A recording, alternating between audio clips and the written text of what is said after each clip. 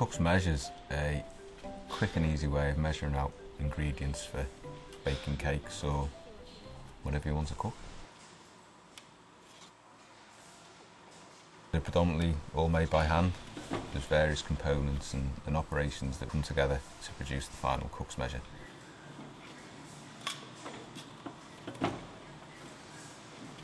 Going back in history, I think we've got Cook's measures from the 1920s. We've gone metric, but the interior print on it is still exactly the same as it was.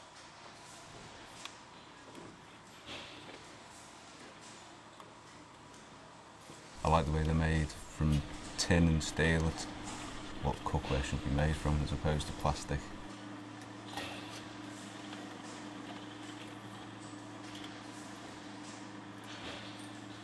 When I'm out shopping and I see the Tala ware on the shelves, I have great pride in it. It's, it's nice to see and I can show my daughter. It's important to the workforce that we produce a good high quality standard, but also that it's not something you put in the cupboard. You can display this, it's, it, they look nice, they do a good job.